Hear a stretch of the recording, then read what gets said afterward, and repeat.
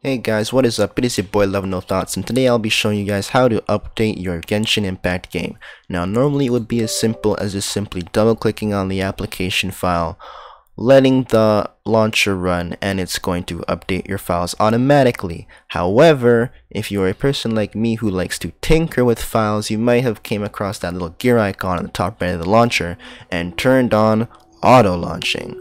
Now what auto launching does is when you open that main Genshin application file, it automatically brings you to the game. It skips the launcher part and it doesn't verify your files to see if they are up to date.